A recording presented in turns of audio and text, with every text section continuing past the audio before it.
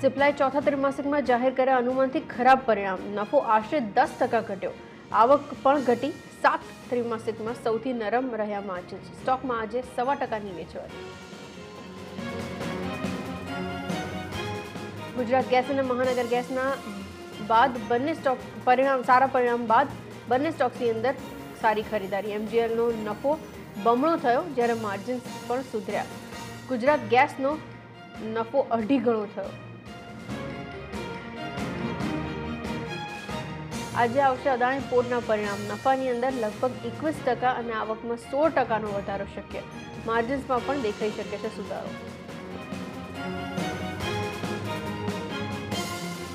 અને આજે ખુલ્યા બે નવા આઈપીઓ લોજિસ્ટિક્સ કંપની ડિલિવરીની પાંચ હજાર બસો ને પાંત્રીસ કરોડ એકત્ર કરવાની તૈયારી. પ્રાઇસ બેન્ડ ચારસો ને બાસઠથી ચારસો ને સિત્યાસી. ત્યાં જ વિનસ પાઇપ્સ એન્ડ ટ્યુબ્સની પ્રાઇસ બેન્ડ ત્રણસો ને દસથી ત્રણસો ને છવ્વીસ રૂપિયા પ્રતિ શેર નક્કી.